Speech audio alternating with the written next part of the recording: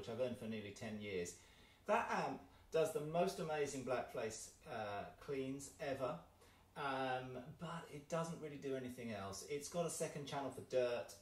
I suppose uh, I would say it's based on a tweed. I don't like that whole tweed, edgy, harsh sound. Um, and even with the attenuator, it's hard to control that channel. It's really, really loud. So I've been looking for something that can do clean and a bit of dirt without putting my pedals in front of it.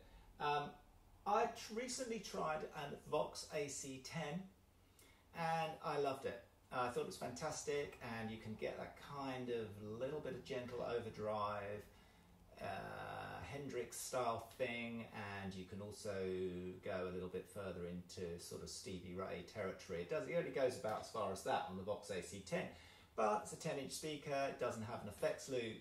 Uh, the speaker out is a slightly strange arrangement. So I thought, well, let's see if I can find something bigger. So I, I saw a great demo, Lari Basilio, who is just strikes me as the most wonderful person ever. She does an amazing demo of this amp on her channel. She's a Laney sponsored artist, and uh, it's got two EL84s in it, and uh, it's British made. So I thought, well, look, I'll give it a chance. It's not super boutique, although I have to say, I bought this on Amazon for an incredibly low price. I think the head was £312, which um, actually I think it was less. The head was less than the speaker cabinet. Anyway, so they are an amazing, uh, an amazing deal. So uh, lots of other YouTube reviews have gone through the front control.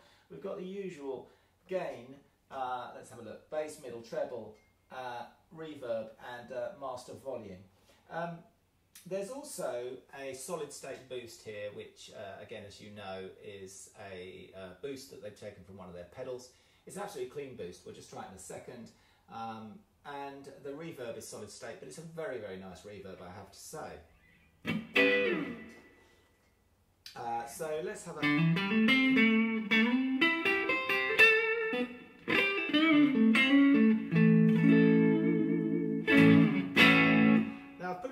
drive on here, so let me just take that off. By the way, it has two inputs. This has, whether it has an attenuator or not, I can't exactly say because they don't tell you, but they use the word attenuated. Uh, so it has a half a watt input and a 15 watt input. This is a 15 watt uh, amp. It's fantastic on the half a watt setting. Uh, so I'm indoors, I actually live in a flat and the master is on half. I can put the gain on about half. It's a little bit loud, but it's really fine for home practice.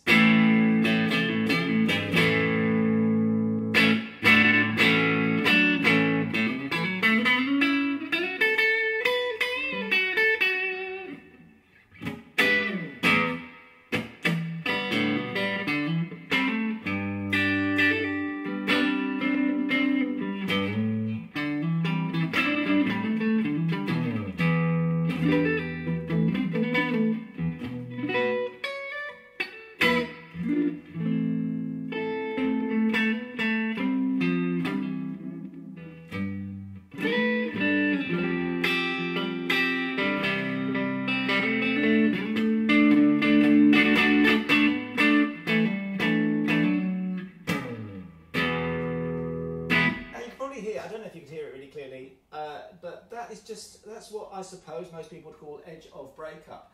But really, it's just not a satisfying sound.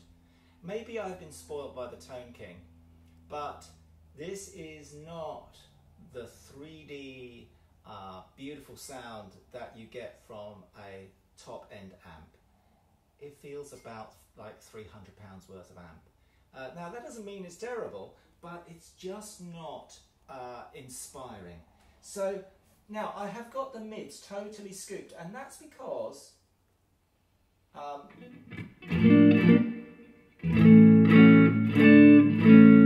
I love blackface sounds. So blackface sounds. It's not even. That's not even quite it. But blackface sounds basically are scooped. So there's a lot of bass, there's a lot of treble, and not much in the middle.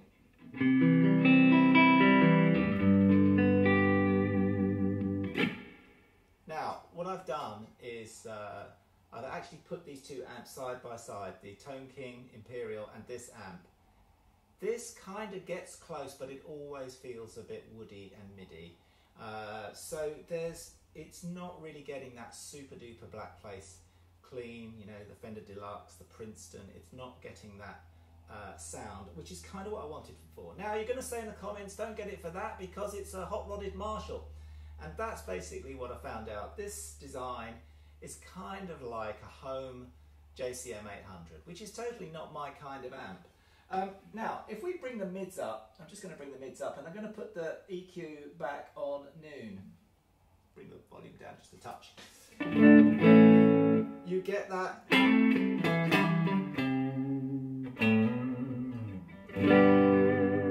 Very, very uh, mid-heavy sound.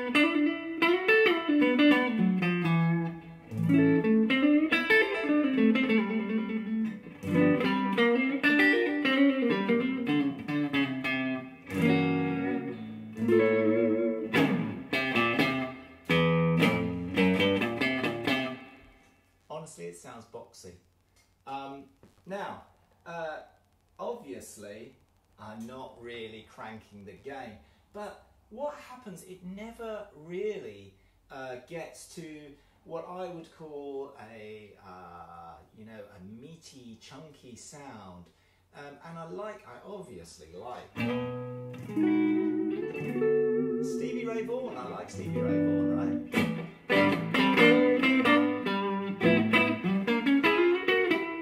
If I could play it.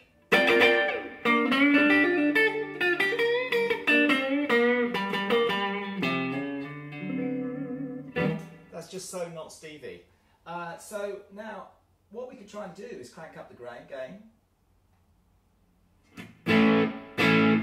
So there's some gain, right? Uh, I suppose most uh, heavy rock people would call that very light gain. And you know, if I hit the rear humbucker,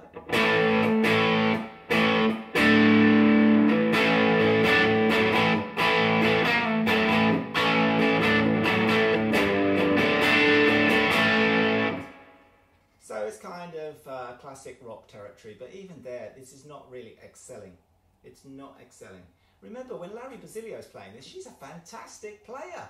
She's an incredible player. And as you know, all these people can make a uh, an old block of wood with a rubber band on it sound good. So it's just not. Uh, it's not. It's really not satisfying. Now I tried a lot of different EQ. Here's the boost. I'm going to turn the boost on. The boost boost about halfway up. I'm going to turn the master down a little bit. Okay.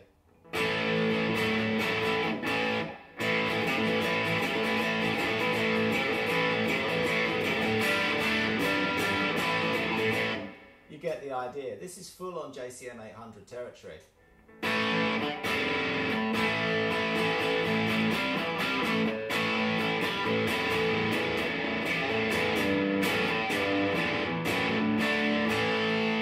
If I could play any heavy rock, I would.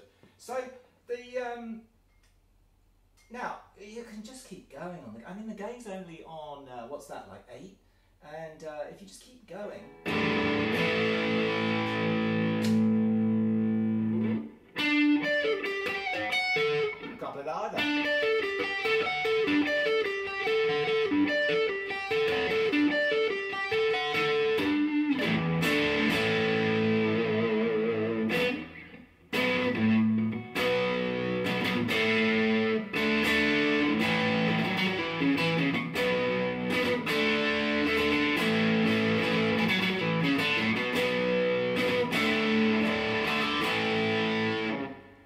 Humbucker.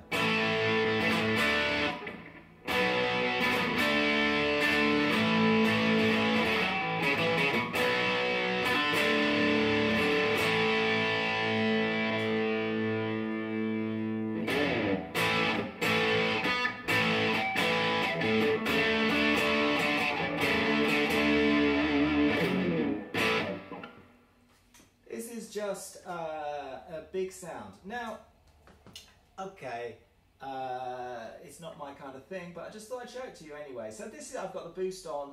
Um, now let's do one other thing. Let's swap into the 15 watt uh, input because obviously it's going to get super loud. You, as you all know, valve amplifiers for our American friends who are watching, tube amplifiers are super loud. So I've turned the gain down, and the master down.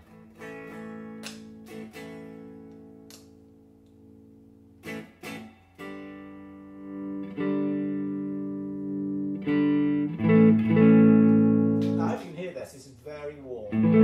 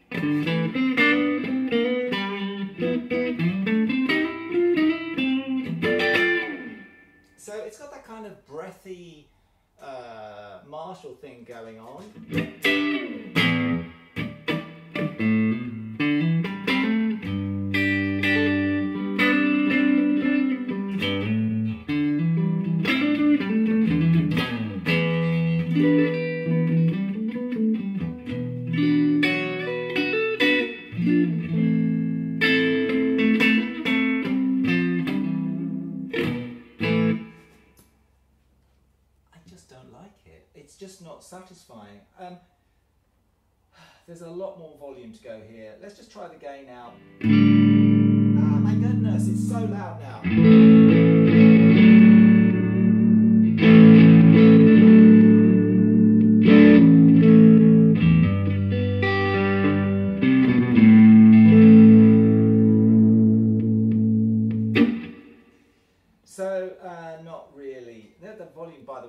Two or three, so this can this thing can really get super loud. Um, it, I'm not sure how much headroom it's got though, but uh, so the volume's now pretty much on maximum. I'm too scared.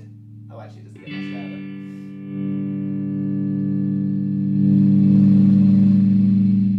That thing is rattling my uh, rattling my cupboard. So yes, it can get pretty loud. Um,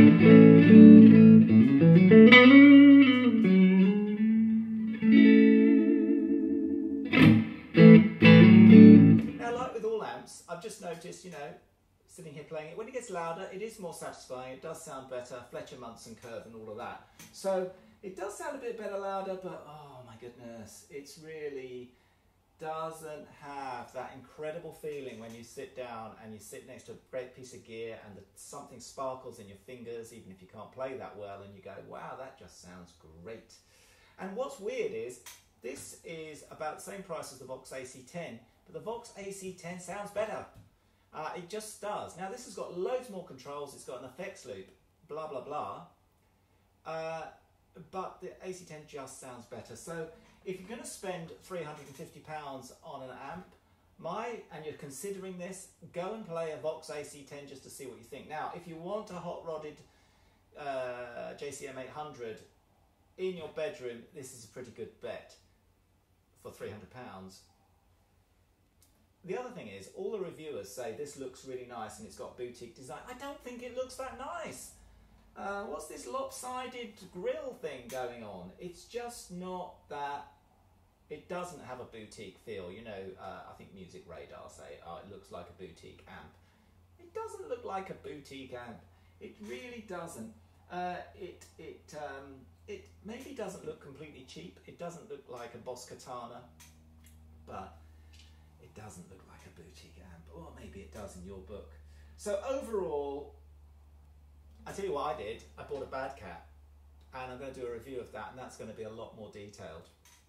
But this does not stand up, and actually, that's quite good news, really, because we're spending a lot of money on this stuff. This does not stand up next to a Tone King Imperial. Although, to be fair, it can do classic rock, which a, tank, a Tone King Imperial cannot do without a pedal. And it definitely does not stand up next to a Bad Cat. So, um, and that can do classic rock. So I just think I'm sending this thing back to Amazon and uh, it's good for what it is, but it's not inspiring. And we have a limited amount of time to spend on playing music, and we need equipment, gear that inspires us and makes us feel like, wow, this is really, it makes me feel of music and it hits me here in the heart. This does not, it's functional. It's functional, which is great because we all need functional gear, but it's just not uh, inspiring. Okay, that's my review. If you want to put some comments down below, feel free. I should have said at the beginning, like and subscribe, but this is just one of those things. So if you've made it this far and you actually liked what you saw, please hit subscribe. It does help the channel. I'll put a couple of links down below. I know nobody after this review is going to buy it, but if you want to buy it, I'm going to put a couple of Amazon links down below in, in the uh, text so that in case you do want to buy it, it would be great if you clicked my link and I get a little bit of kickback from Amazon. It costs you nothing. Otherwise, like and subscribe. See you next time. I'm going to do the Bad Cat uh, review as soon as I get a day spare because I want to do a lot of detail on that amp. It's amazing. It's amazing. Okay, thanks. Bye for now.